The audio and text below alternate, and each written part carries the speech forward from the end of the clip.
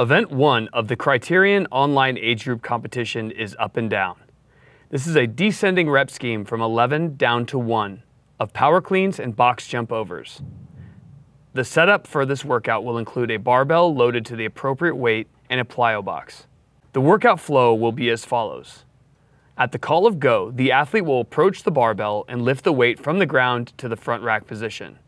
After completing the required repetitions, the athlete will move to the box and perform the required amount of box jump overs. The athlete will move back and forth, descending from 11 reps of each to 1 rep of each. Once the last rep of box jump over is completed, the workout is over and the score will be the total time. The movement standards for the exercises are as follows. The power clean will begin on the floor the athlete will lift the bar from the floor in one motion and receive it in the front rack position. A repetition is considered complete once the athlete has stood up all the way with the hips and knees fully extended and the elbows clearly in front of the barbell. The box jump over begins with the athlete adjacent to the plyo box, facing it or lateral to it.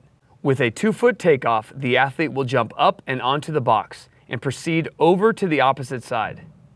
The athlete is not required to stand tall at the top of the box, but must touch the top of the box with both feet. Video submission standards for Event 1 are as follows. The barbell and weights will be filmed prior to the start of the workout. The box height will be measured and the clock timer must be in the frame during the entirety of the workout. During the workout, the athlete must be aligned lateral to the camera so as to show clear lockout and completion of the power clean repetition.